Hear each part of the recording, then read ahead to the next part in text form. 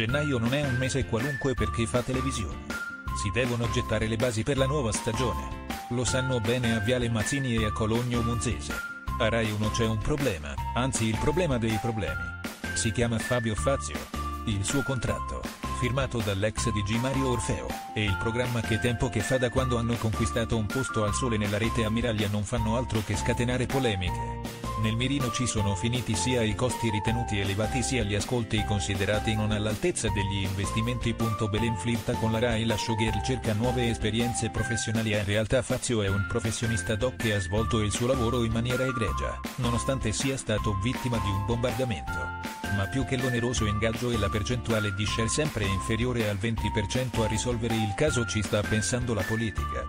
Fazio è considerato figlio dell'ancien regime, vicino al PD e a Renzi.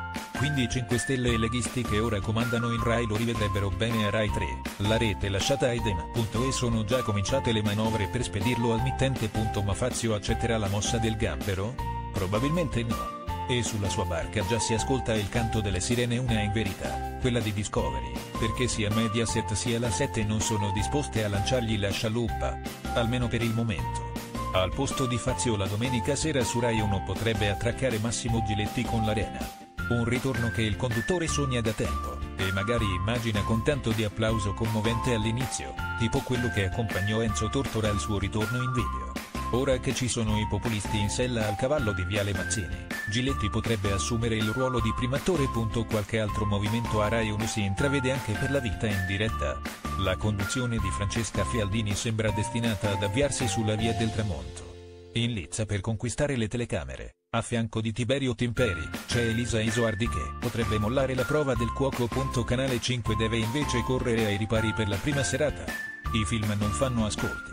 E le fiction vanno forte solo con Gianni Morandi e Ultimo Boga. Non a caso si chiede un impegno straordinario alle due regine del Biscione. Maria De Filippi che oltre ai suoi consueti impegni, dovrebbe allestire qualche puntata serale speciale di Uomini e Donne, mentre a Barbara D'Urso è stato chiesto di confezionare a breve un programma in prima serata non è chiaro se sarà reality o intrattenimento. La D'Urso da domenica sera torna con le nuove puntate della fiction La dottoressa Gio 3. E per Fazio potrebbero sorgere altri problemi.